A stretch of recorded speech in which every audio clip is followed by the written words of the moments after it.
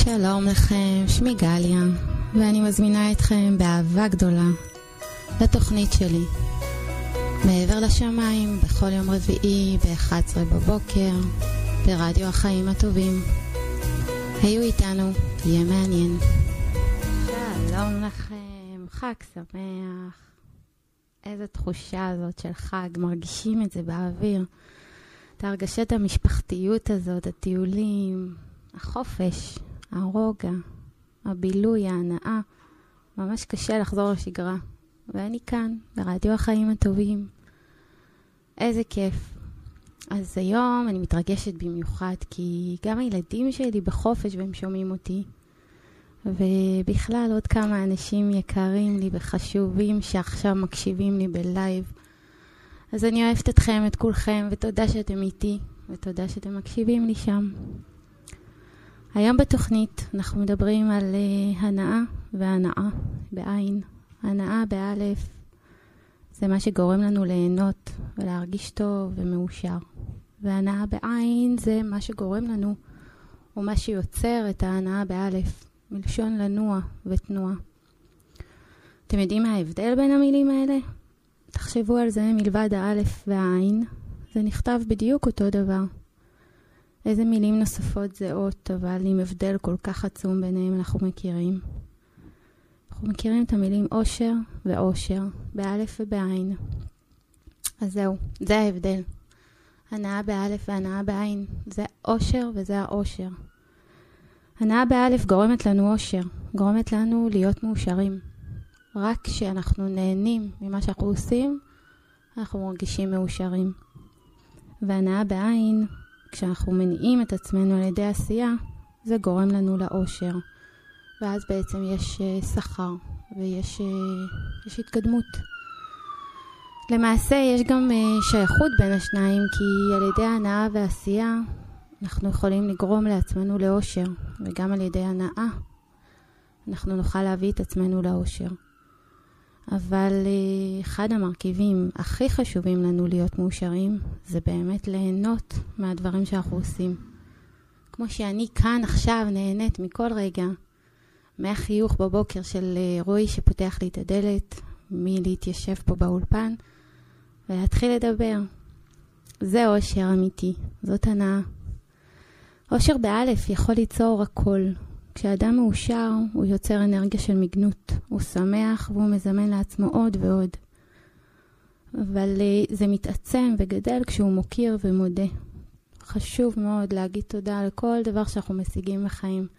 כל דבר שהוא שלנו והוא עושה לנו טוב. אז uh, כמובן שאני בהזדמנות זאת גם אגיד תודה על הזכות הזאת להיות כאן ולדבר. זאת התודה שלי. תודה לבורא עולם, תודה לשפע שנפתח בפניי ולכל מי שמקשיב לי היום. אז זה האושר האמיתי. אושר יוצר אנרגיה של מגנות, כמו שאמרתי, וזה פותח עוד ועוד דלתות. זה, זאת אנרגיה חיובית, וכמובן זה גם משפיע על השפע שלנו ועל כל זה, על כך שנהיה בעצם גם מאושרים בעין. אבל השאלה הגדולה באמת, זה אם אנחנו מאושרים. האם אנחנו באמת מאושרים? אם אנחנו מאושרים בעין, זה יגרום לנו להיות מאושרים באלף? אני לא, לא בטוחה. נבחן את זה אחרי השיר הבא, ושכל אחד בינתיים יחשוב לעצמו, האם אתה מאושר? האם את מאושרת? האם אתה מאושר של ריטה?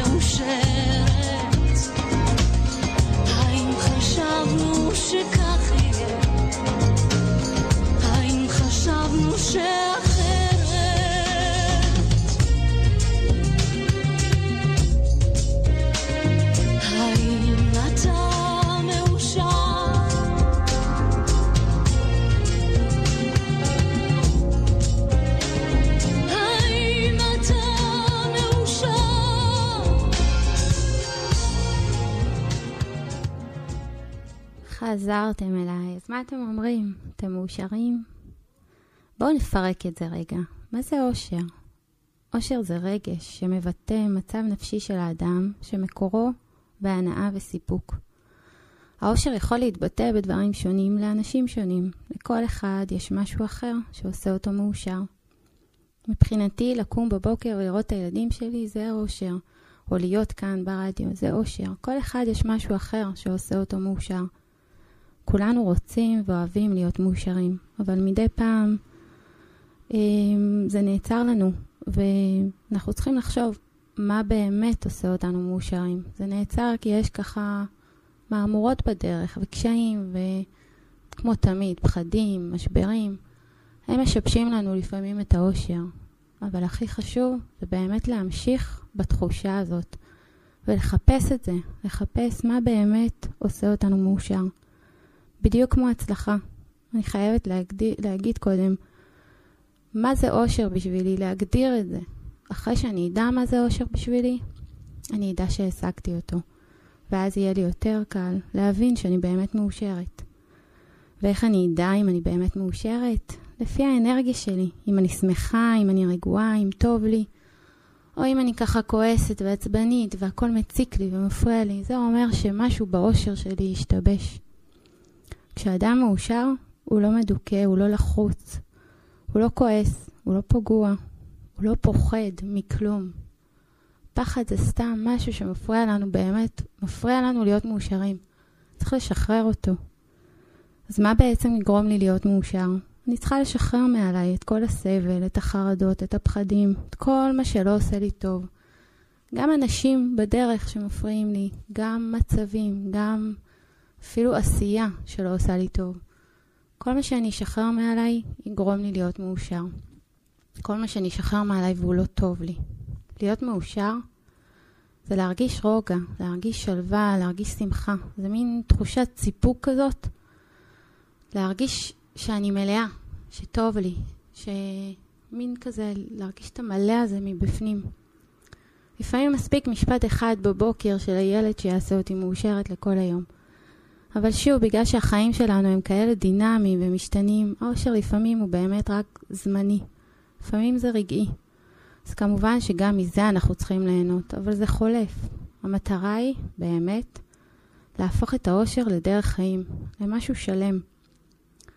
אז איך הגענו לנתח את האושר בכלל? אמרנו שהנאה גורמת לנו אושר. במילה הנאה יש את האות א', שא' זה אושר. וזה בדיוק העניין. כאשר נלמד ליהנות מכל דבר שאנו עושים, וגם מהדברים הפחות נעימים, בעיקר מהדברים הקטנים, פשוט ללמוד ליהנות מהכל. אז האושר שלנו יהפוך לדבר קבוע. מהרגע שאני מתעוררת בבוקר, פותחת את העיניים, ומאושרת שישנתי טוב, ומאושרת אה, שיש בוקר, ויש שמש בחלום, ויש לי בית, ויש לי משפחה, ויש לי ילדים. ובכלל, מיטה לישון עליה, ופיג'מה, ומצעים, וכרית, ושמיכה. תחשבו על כל הדברים הקטנים האלה, שהם כל כך ברורים מאליו. יש אנשים שאין להם את זה. זה, זה כבר מתחיל את האושר בעצם. וכשאני מתחילה ליהנות באמת מכל דבר קטן כזה, היום שלי הופך למאושר. ואז ככה גם החיים שלי הופכים למאושרים יותר. אז כמו שכבר אמרתי, צריך להגדיר קודם מה זה אושר עבורנו. ואחר כך, פשוט לעשות רשימה של כל מה שיש לי בחיים. להבין שאם יש לי את כל זה, אני חייבת להיות מאושרת. ואם זה עדיין לא משנה את התחושה, זה, וזה אומר שאני לא יודעת ליהנות ולהעריך את הדברים האלה. מאוד חשוב להבין שכל היש בחיים, גם הדברים האלה הפשוטים והברורים מאליו, זה העושר האמיתי. זה דברים שאנחנו חייבים ללמוד ליהנות מהם. על לקום בבוקר ויש לנו עבודה ללכת אליה ויש לנו בגדים ללבוש ויש לנו דברים באמת לעשות עם עצמנו. זה משהו שאמור לגרום לנו הנאה. אם אנחנו לא נהנים מזה, אנחנו לא באמת מעריכים את זה. ואנחנו רק דרך ההנאה באמת נגיע לאושר. ואז, גם אם מהכל, מכל הדברים האלה יקרה לנו משהו בדרך, איזשהו קושי, איזשהו משבר, משהו שיגיע ויפריע לי, אני פשוט אזיז אותו הצידה ואתייחס אליו כעוד אתגר, כעוד שיעור, ואני אתמודד איתו. כי כשאני מאושרת מבפנים, הכל קטן עליי. כל דבר הופך להיות שולי. אז מה שחשוב זה באמת ששום דבר, אבל שום דבר לא ייקח לי את האושר. גם הדברים הקשים ביותר. ששום דבר לא יפריע ולא ייקח ממני את האושר. כשמגיעים לאושר בדרך כלל, אנחנו כל כך עסוקים במה שעברנו ובקושי שלקח לנו להגיע לשם, שאנחנו בכלל לא זוכרים שאנחנו הגענו לזה. אנחנו מפספסים שם את ההנאה מהאושר. ואז אנחנו בכלל לא נהנים כשצריך ליהנות. אז בתור התחלה, מהיום, אנחנו בעצם מחליטים ליהנות מהכל. מכל מה שאנחנו עושים, כי זה האושר האמיתי. אז בואו נלמד להתייחס לכל רגע מאושר בחיינו, ונהנה מכל רגע. ואז, מחר יהיה אתמול של עוד מחר, ובינתיים, כל דקה זה רגע מאושר.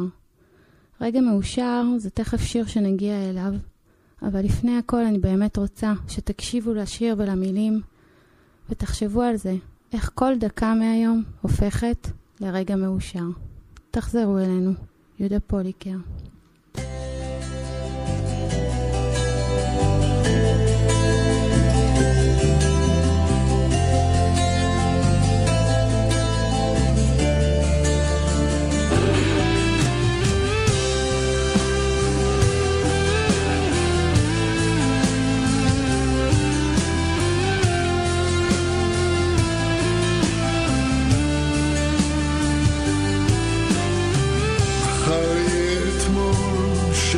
מחר, בינתיים כל דקה זה רגע מאושר. היום אני נסחף מבלי לחשוב, זה עושה לי טוב לגעת לאהוב. זה מין חיוך כזה ש...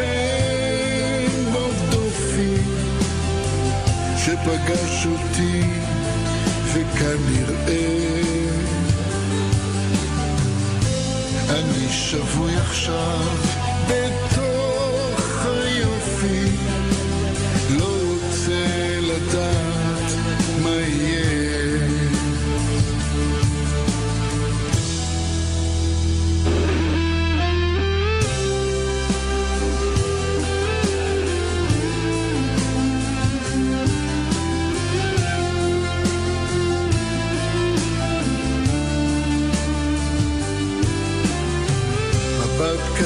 אחד אני נמס, זה עושה לי טוב, זה רגש שאוהב.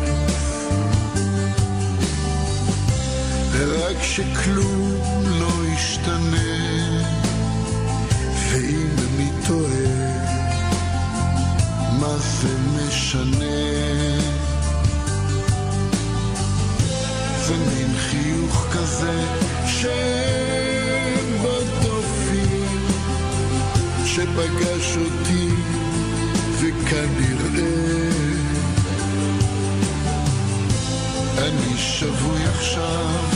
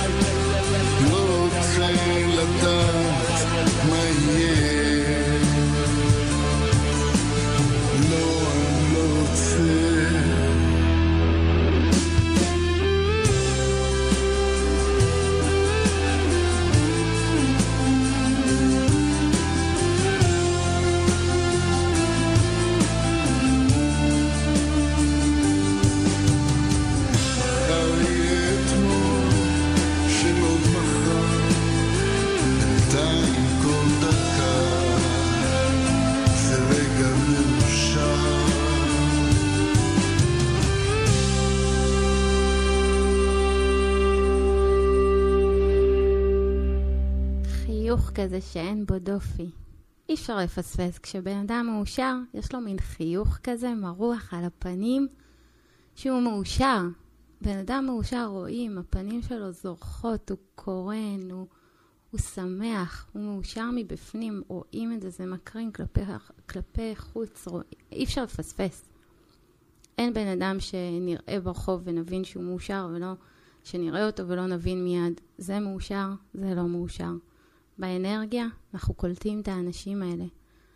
אבל באמת מה שחשוב לנו זה להתחיל להידבק לאנשים האלה, להתקרב לאנשים המאושרים, לאנשים שבאמת טוב להם ויודעים ליהנות מהחיים וליהנות באמת. לא בהצגה, לא בלהראות כאילו הם נהנים, ליהנות מבפנים. זה ישפיע, זה מדבק. באחריות זה מדבק. ואני חייבת לספר לכם שבזמן השיר וההפסקה, הבת שלי המדהימה, בר, שלחה לי הודעה, אמא, האם את מאושרת? אין דברים כמוך, בר, אני אוהבת אותך, אני מאושרת שאת הבת שלי, את מלאך פשוט. וכן, אני מאושרת, את יכולה לדעת שאני מאושרת.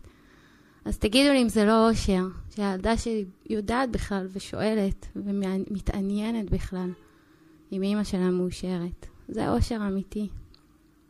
אז, אה, אז אנחנו בתוכנית על הנאה והנאה, ואנחנו עדיין בהנאה, שזה מדבר על אושר. אז מה באמת הדברים שעושים אותנו מאושרים? אמרנו ליהנות מהרגע ומהיש. אה, אמרנו באמת ליהנות מכל מה שעושה אותנו מאושרים ולעשות. לעשות כל הזמן את מה שעושה לנו טוב. וזה ככה מתעצם ומעצים את האנרגיה. אבל הדבר השני שחשוב זה להתחיל להקשיב לבטן וללכת עם הלב. ללכת עם הלב כשאנחנו עושים דברים שאנחנו מרגישים אותם מבפנים, מהבטן, אז אנחנו מרגישים את התחושת סיפוק הזאת, שממלאה לנו את הנשמה ואת הלב, ההרגשה הזאת של הגשמנו את זה, עשינו את זה. זה אושר אמיתי. וכמובן, כמו שאמרנו, ליהנות, ליהנות, ליהנות. ההנאה במיוחד כשזה בא מבפנים ומהבטן, משהו שכל כך רצינו לעשות, אה, ללכת, לפתוח מקום, לעשות איזה עסק, לעשות משהו, והצלחנו לעשות את זה, אנחנו צריכים ליהנות מזה. צריכים להיות מאושרים כי השגנו את זה. וכמובן, לחיות את הרגע וליהנות מהרגע, מכל רגע, גם מהדברים הקטנים. וכמובן, כמובן, כדי להוסיף לאושר שלנו, איך לא? אנחנו צריכים, זקוקים להנאה. עכשיו אנחנו מדברים על החלק השני של השידור של הנאה. הנאה עם עין חשובה לנו כדי לשמור על האנרגיה הנכונה. אנחנו צריכים להמשיך ולנוע כל הזמן קדימה.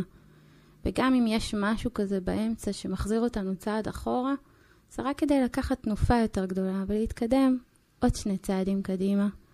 לקבל, לקחת זינוק יותר נכון, לקחת תנופה. לא להתרגש מהצעד אחורה, זה שום דבר. אנחנו צריכים תמיד לחשוב קדימה. אנחנו צריכים להמשיך ליזום וליצור ולעשות, ולא לעצור לרגע. כמובן, כמו שאמרנו תוכנית קודמת, שחשוב גם כדי להגשים דברים ולהצליח, ללכת צעד צעד ועם המטרה והדרך. אבל תמיד להסתכל קדימה. כשאנחנו מכוונים לעבר מטרה ונעים אליה, אנחנו בעצם נמצאים בהנאה. אנחנו בעצם שומרים שהמנועים שלנו תמיד יהיו בעבודה ובעשייה, והנאה תמיד תמיד תביא, תביא אותנו לתוצאות. כי דרך הנאה אנחנו נגיע למטרות, אנחנו נגשים את עצמנו ונפתח את הדלתות ואת השפע לחיים שלנו. וכמובן נוכל גם ליהנות מאושר ומאושר. אושר אמיתי בעין זה עדיין לא אומר שאנחנו מאושרים. אושר אמיתי זה כסף, זה רכוש, זה הון. אבל כמה באמת אנשים עם כסף כל כך מאושרים? הכי חשוב זה להיות מאושר, אושר באלף. ואז כמובן נשאלת השאלה, האם מי שמאושר בעין באמת מאושר? הרבה פעמים מגיעים אליי אנשים שיש להם הכל, הכל, רכוש, כסף, בתים. הם, אי אפשר להסביר עד כמה הם מפוצצים בכסף, אוקיי? אבל בפנים, בלב, כל כך ריק להם. יש להם כסף, יש להם בית, יש להם שפע חומרי מאוד גדול, אבל בפנים יש להם עוני כל כך גדול. יש להם ריקנות כזאת, שהם אפילו לא יכולים לתאר אותה. אז מה זה בעצם עושר? עושר בעין. אז כמו שאמרתי, עושר זה הון ורכוש. לפי המילון, זה אומר עושר במשמעותו הבסיסית מתייחס העושר לאדם, לאדם שיש, עליו, שיש לו הרבה רכוש והון. זה, זה ההגדרה של המילון. אבל אם, האם אדם באמת עם הרבה עושר, עם כל כך הרבה עושר, יכול לקנות עושר באלף? אז זהו, שזה מאוד תלוי. אם הוא עבד קשה על העושר שלו וזכר להעריך את הדרך ואת כל מה שהוא השיג, אז הוא ייהנה מהעושר. כי הדרך היא מה שחשוב, מה שחשוב לנו באמת. ואז כשמגיעים להישגים יודעים ליהנות מזה. אז האושר שלו באמת יגרום לו לאושר, אבל מאוד מאוד חשוב לא לאבד את עצמנו בדרך. הרבה פעמים כשאנחנו מתעשרים, אנחנו שוכחים שבכלל היינו במקום אחר, שוכחים שלא היה לנו כסף, ויותר מזה, אנחנו לא מעריכים כלום. אז אנשים שלא חיים עם עושר רב, הם בדרך כלל כן יודעים להעריך את הדברים הקטנים. שהעשירים אפילו לא שמים לב אליהם. ככה זה עובד לצערנו. כשאנחנו מתעשרים, הרבה פעמים אנחנו הופכים להיות מאוד מפונקים, ואז אנחנו מאבדים את טעם החיים. כי אמנם נהנים מכסף ומשפע חומרי גדול, וכל דבר שיש לי אני יכול להשיג מאוד בקלות. ויש לי את האפשרות להיכנס לחנות ולקנות כל מה שאני רוצה. אבל האם זה באמת הנאה בשבילי? אז זהו, שלא. כי כשהכול ברור מאליו והכול כל כך קל ולא צריך להתאמץ, אז אני לא מעריכה. כשאני עובדת קשה עבור משהו ובסוף הולכת ובכסף שהרווחתי אני קונה את זה, אז אני זוכרת שהיה לי קשה להשיג את זה. ואז אולי זה ייקח לי קצת זמן להגיע ולהשיג את מה שאני רוצה, אבל לפחות כשאני אקנה את זה, אני אעריך את זה יותר. ככה זה עובד. התת מודע והנשמה שלנו זוכרים שעבדנו קשה, הם זוכרים את המאמץ שהשקענו כדי להשיג את זה. ואז כשיש לנו משהו, שכבר השגנו משהו בעבודה הקשה הזאת, אז אני מתחיל להעריך באמת. מתחילים להעריך את הדברים הקטנים.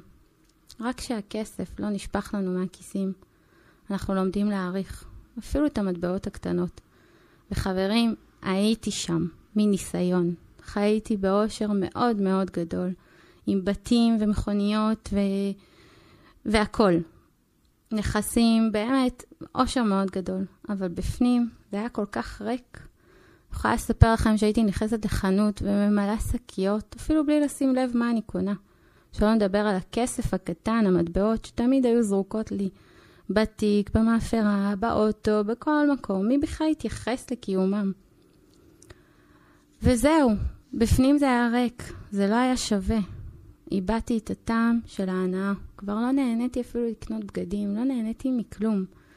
זה כבר לא סיפק, שום דבר לא מספק. אפילו לעשות קניות, שזה כאילו fun כל כך גדול לאישה, גם הפך להיות משהו כזה שגרתי ועל הדרך. אפילו ללכת למספרה, לקוסמטיקאית, היה כבר כל דבר כזה הפך להיות יומי, יומיומי וממש משעמם. והקניון? מי בכלל היה יכול להסתכל על הקניון? באיזשהו שלב מבינים שאת האושר, אושר באלף, לא ניתן לקנות בכסף. האושר מגיע מבפנים ומהדברים הקטנים, וכשאני כבר לא נהנה מכלום ולא מפיק כלום מכלום, ולא מסופק מכלום, הכל נותן תחושה כזאת של כלום. אז מה הטעם? מה האושר כאן? אז נסעתי על מכוניות והייתי בכל הבתי מלון האפשריים, ונסעתי לחו"ל, וחזרתי, ובזבזתי, וקניתי. נכון, אבל, אבל איפה האושר האמיתי? זהו, מה הלאה? איפה ההנאה מהכל? הרי כל דבר הופך בסופו של דבר למובן מאליו, ואם הוא חוזר על עצמו בכזו קלות ובלי מאמץ, אז מאבדים את ההנאה והסיפוק והאושר האמיתי בהכל. אפילו לטוס לחו"ל כבר הופך להיות דבר משעמם ושולי. אז מה זה אושר אמיתי? אושר אמיתי בעין זה לעבוד על הדברים, זה להתאמץ, זה להשקיע מאמץ, זה להניע את עצמי כדי להשיג את הדברים, להמשיך ליצור וליזום ולהעיז ולעשות, ולהתמודד עם הפחדים וכנגד כל הסיכויים להשיג דברים בזכות עצמי, ולעשות אותם. ורק הדברים האלה שהתאמצנו עליהם כל כך, הם באמת יגרמו לנו לאושר אמיתי, בגלל ההנאה שנפיק מהם. ואז, אחרי שנהנה מהם, אחרי שנהנה, נוכל להשיג את האושר באמת מהדברים האלה. אז ויתרתי על הנוחות ועל הכסף ועל הרכוש, לטובת ההנאות הקטנות, לטובת האושר הפנימי האמיתי. והתחלתי מאפס, זה לא כזה נורא. ופתאום, אתם יודעים, גם המטבעות האלה שבאוטו, שהיו זרוקות בכל מקום, שמי בכלל התייחס אליהם וזכר אותם, פתאום הם הפכו להיות מאוד משמעותיות וחשובות ובסיסיות עבורי. ממש ככה. ואי אפשר לתאר את התחושה הזאת שאחרי עבודה קשה, לוקחים את הכסף וממלאים איתו דלק או קונים לחם וחלב הביתה, ופתאום אפילו מעריכים את המצרכים בסופר, ואת הדרך הביתה, ואת הדלק, ואת הנסיעות, ועושים חישוב להכל. דברים שכשהאושר שם, מי בכלל רואה אותו ומתייחס אליו? אז נכון, זה שיעור קשה. קשה מאוד אפילו. אבל זה השיעור של החיים. זה הדבר שהכי הכי מחשל. כי פתאום מתייחסים להכל, ורואים את הכל, ומעריכים את הכל, ויותר מזה, הכל שלי. מה שאני משיג היום, אני משיגה היום, אני משיגה בעבודה קשה, וזה שלי. ואני נהנית מזה, מכל דבר. וההנאה מזה היא פשוט עילאית. היא הרבה הרבה יותר גדולה מההנאה שיש את זה ומשתמשים בזה. כשאני יודעת שמעבודה קשה אני חיה, ואפילו מתפתחת, ואני לומדת ומנתבת את דרך אחרת, אני באמת לומדת להשקיע רק בדברים חשובים וטובים באמת.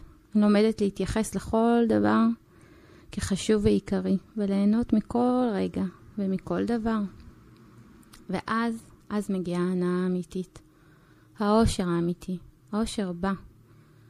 וכאן, כמובן, חייבת התמדה, כי כמו שאמרנו, חייב דיוק כל הדרך להצלחה. חייבת התמדה, חייבת חשיבה חיובית, חייב להמשיך לנוע קדימה, אבל כמובן תמיד ממקום אופטימי וממקום חיובי. חייב לשים לב לפרטים הקטנים, שהיו תמיד ברורים מאליו, ואז, אז מרגישים את הסיפוק האמיתי, את תחושת האושר האמיתי, שהגיע במאמץ, בעבודה קשה, בהתמדה ובדרך. ובהנאה כל הזמן קדימה לעבר המטרה. ומכאן אנחנו תכף נצא לשיר שמזכיר לנו תמיד להמשיך ולנוע קדימה. חלומות מתוקים עשויים מזה, ממי שאני מסכים להיות. וכל אחד מחפש משהו בדרך ובחייו, אבל מה שחשוב תמיד זה להשאיר את הראש למעלה ולהמשיך לנוע קדימה. אנחנו נצא לשיר מדהים, Sweet Dreams של יוריתמיקס. תחזרו אלינו. Some of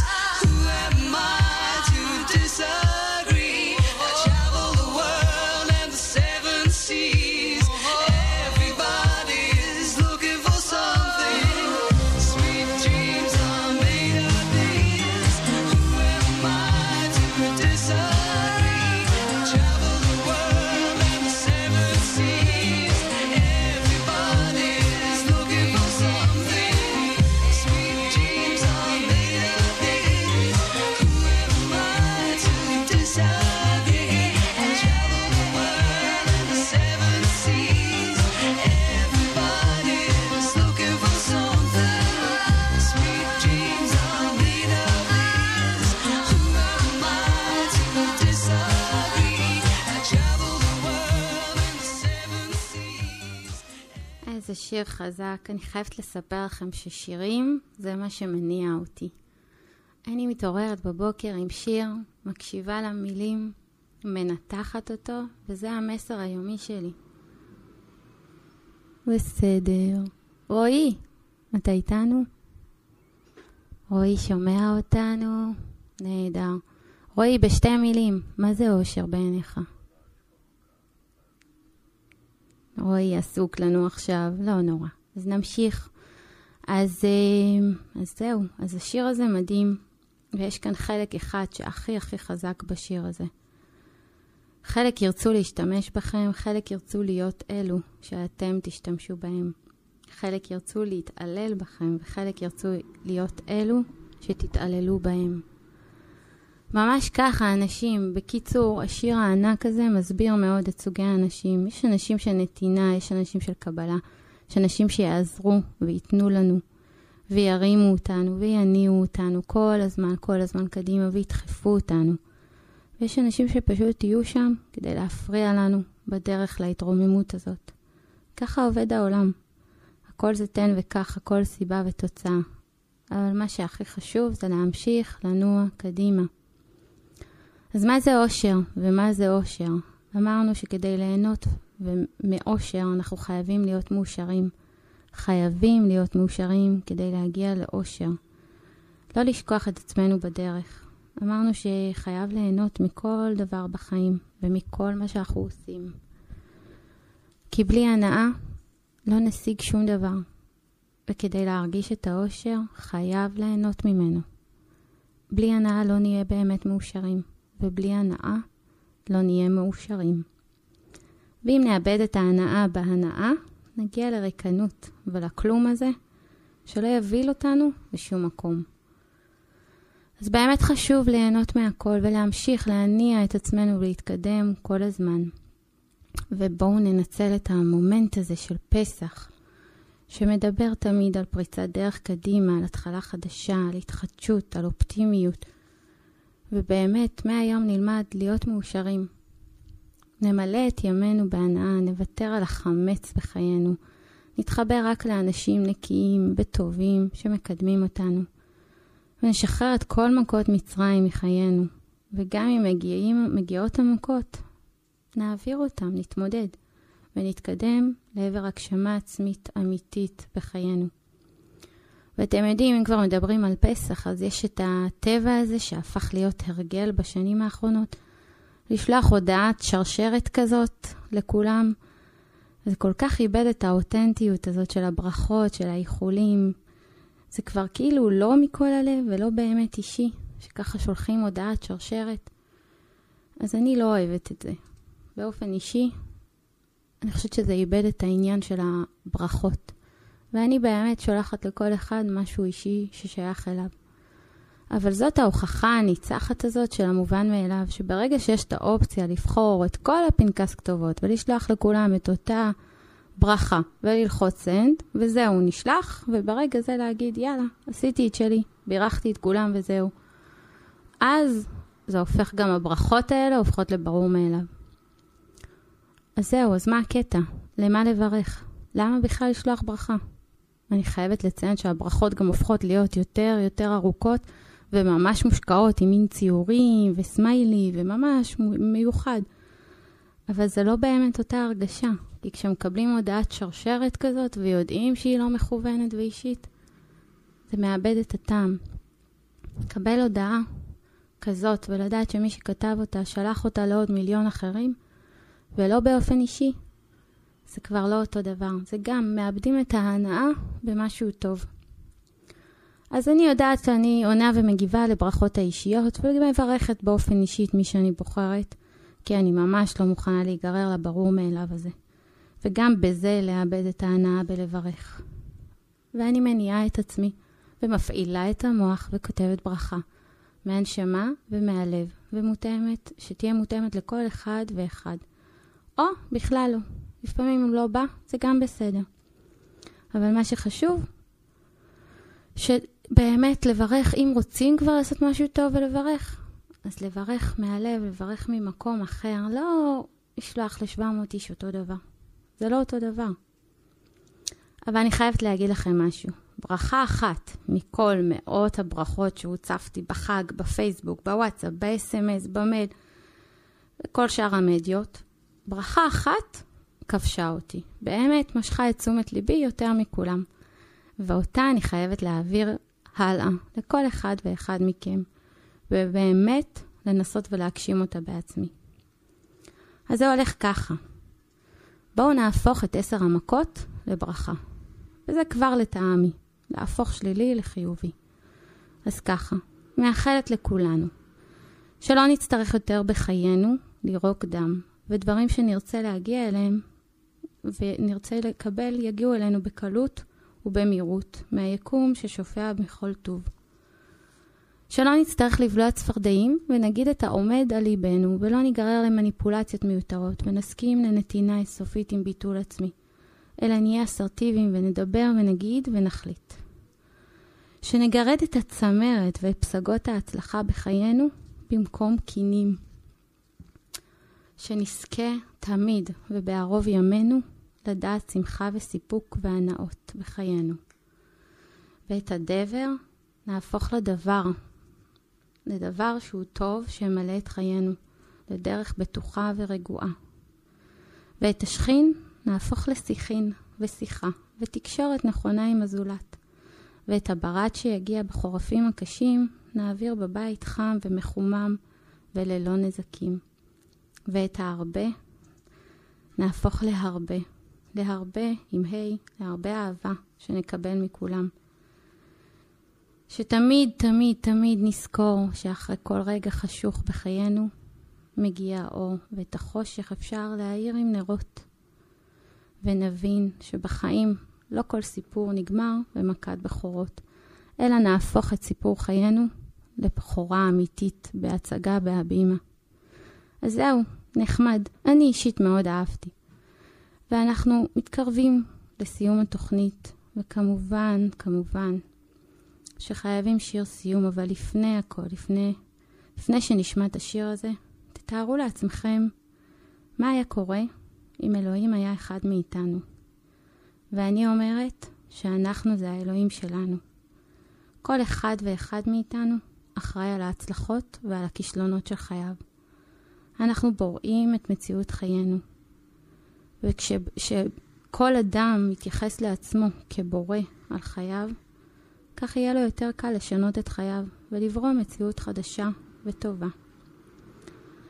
ואז יהיה לנו המשך, יהיה לנו המשכיות, יהיה לנו, נוכל באמת להגשים את כל הרצונות שלנו. נוכל אה, לברוא דברים חדשים בחיינו שאנחנו בוחרים. אם נתייחס לעצמנו כבוראים היחידים של חיינו, אז נוכל להבין שאנחנו יכולים באמת ליצור חיים מאוד מאוד טובים עבור עצמנו. וזאת נקודת ההשקפה שלי, ואני מקווה מאוד שכולם ישנו גם את הנקודה שלהם וישתמשו בזה. אז שיהיה לנו המשך חג שמח, תהנו מהחופשה, סעו בזהירות בכבישים, תשמרו על הילדים היקרים שלכם. תניעו את עצמכם, את המכוניות שלכם, למזג האוויר הנפלא הזה שיש בחוץ. ורק תהנו מכל רגע, ותהיו מאושרים תמיד תמיד. תהנו, תלמדו ליהנות. אנחנו ניפגש שוב ברביעי הבא, במעבר לשמיים, ב-11 בבוקר, ברדיו החיים הטובים, בתוכנית על ויתור על האגו וההתמודדות עם אנשים רעילים בחיים שלנו. ואנחנו תכף מסיימים, נצא לשיר המדהים הזה, What if God was one of us, של ג'ון אוסבורן. יאללה ביי, חג שמח, אוהבת אתכם.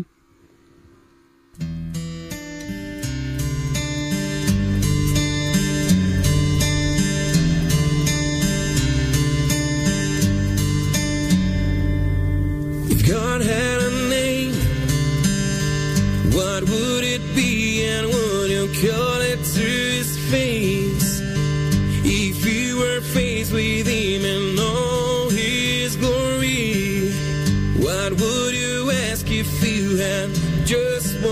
question?